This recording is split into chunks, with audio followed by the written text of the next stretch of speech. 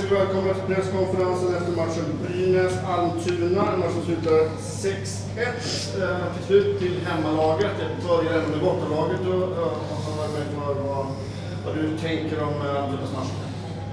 Nej, men vi är ju kanske två, tre ljusår ifrån idag. Jag tycker att eh, för vår del så för att komma hit och ha någon chans på poäng så måste man vara redan från start. Jag, jag tycker inte vi är det. Eh, jag tycker egentligen att vi, vi bommar på det mesta. Jag tycker att Brynäs får ju spela som de vill i våran zon eh, och eh, bära puck genom mittzon utan press egentligen.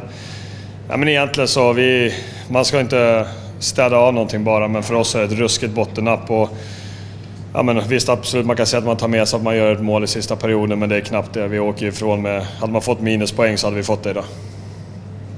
Tack. Niklas, eh, Brynäs match.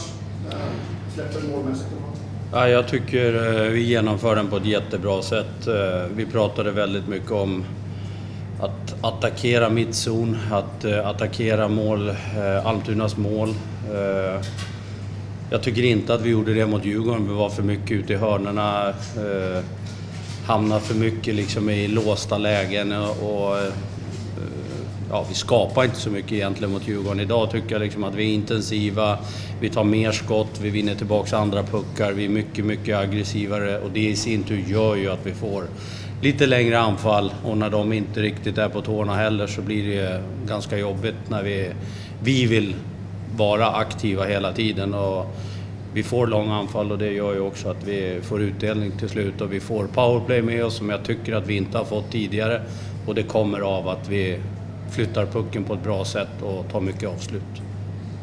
Tack för det. Är det någon fråga till?